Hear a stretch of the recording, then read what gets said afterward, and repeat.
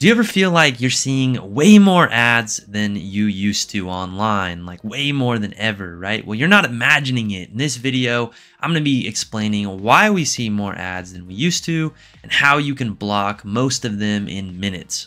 So the answer to why we're seeing more ads is pretty easy. The answer is money, right? Websites make money through ads.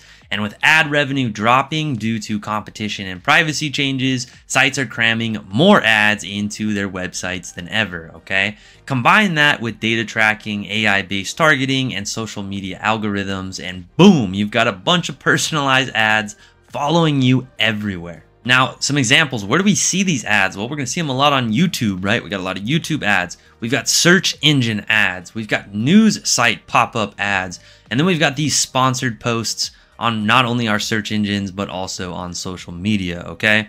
Now, you've got banner ads, pop-up ads, sponsored videos, native ads disguised as content, and those creepy personalized ads based on stuff you just searched for.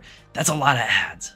And now the most important part, how do we block these ads? Well, I recommend uBlock Origin, okay? For Chrome, uBlock Origin Lite. What we gotta do is we gotta open Chrome or Firefox, whatever you use, Edge if you're using Edge still, and then search for uBlock Origin extension in the extension um, um, store or manager and then we're to install that okay so here I'm showing how to install uBlock Origin Lite on Chrome it's a great way to start blocking some ads, okay? Now, once it's installed, you'll instantly see fewer ads on the websites that you go to.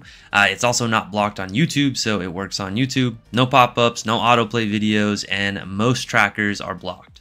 Now, what about those mobile devices? Well, I recommend Brave Browser, which can help reduce tracking and advertisements as well. I use it and I've noticed a massive drop in pop-ups, advertisements, and again, you can shred your data and stop tracking right inside of the UI, which is really nice. So for mobile users, go ahead and go into your Play Store or App Store and download the Brave browser. Start using that over whatever your default browser is on the phone. All right, that's it for this one. Ads are getting out of control online, but with the right tools, you can take back your screen, right? So I know we've talked about this a few times as well, but we'll probably continue to cover ads in the future because, well, they just keep getting worse and worse, and there's always new ways to block them. On that note, if you have a tool that's blocking ads and doing a good job for you, go ahead and leave it down in the comments below. If you're having issues with ads and you just don't understand what to do or had trouble with the video, reach out to us via the number at the beginning and the end of the video. It's also down in the description where my computer works. We can help you out with that. Thank you for watching, everyone. Like and subscribe to see more, and I'll see you on the next one.